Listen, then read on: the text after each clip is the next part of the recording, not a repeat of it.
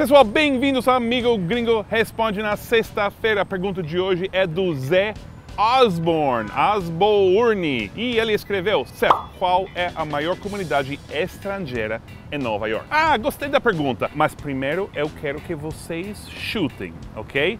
Pause o vídeo e escreva nos comentários seu chute sobre quem são os cinco países com mais imigrantes na cidade de Nova York e não vale trapacear.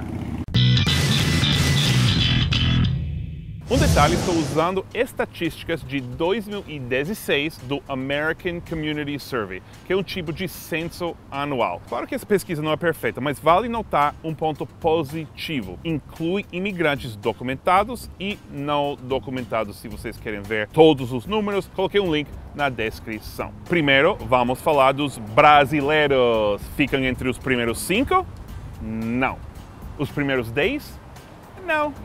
20? Não.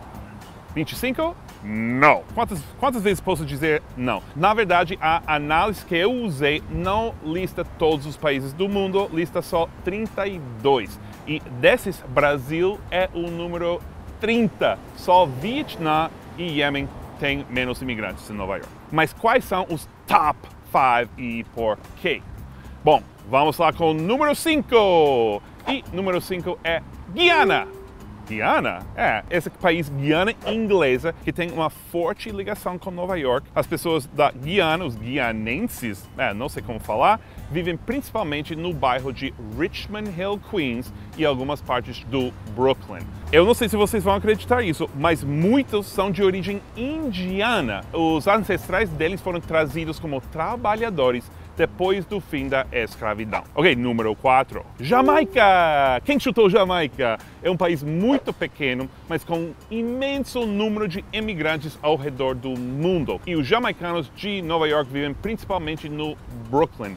Nota que os famosos beef patties jamaicanos já viraram uma comida tradicional nova-iorquina, quase como o bagel. Ok, número 3. México! Ah, isso não é uma surpresa, né? O incrível é que não é número um, o que seria o caso em muitas cidades americanas. Mas aqui a chegada dos mexicanos é bem recente. Quando eu cheguei em Nova York nos anos 90 tinha muito poucos, mas agora só no caminho do metrô até minha casa tem quatro carrinhos de tacos. Número 2. China! Bom, é um país enorme e com imigrantes no mundo inteiro não deve ser uma surpresa. Finalmente! Qual país tem mais imigrantes em Nova York, na cidade de Nova York, do que qualquer outro país do mundo?